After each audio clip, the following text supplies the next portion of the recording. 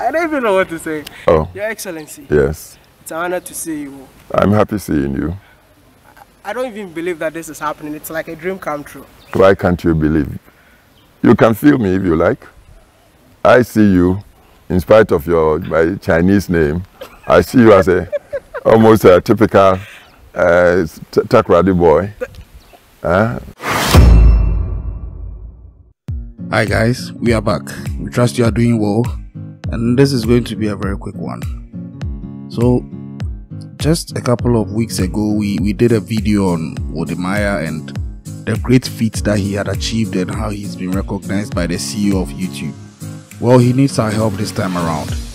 Wodemaya recently tweeted on his Twitter handle that he, he's aiming at hitting 1 million subscribers by August and in as much as he's done so much and he's done so well mostly on his own and with some help from other stakeholders to amass this vast number of subscribers. I think he's almost around 850000 subscribers the last time i checked.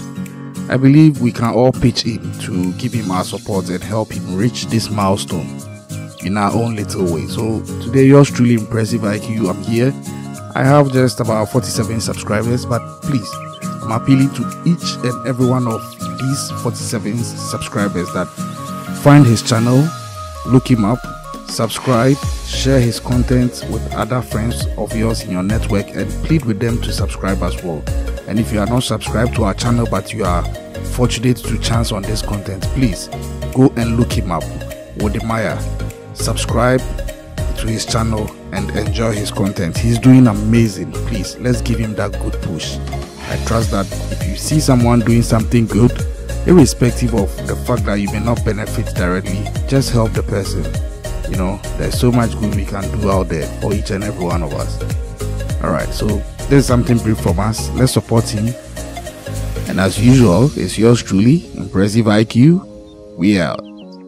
Before, before dance, Yeah. they informed everyone that are going to have a dance today. Oh, okay.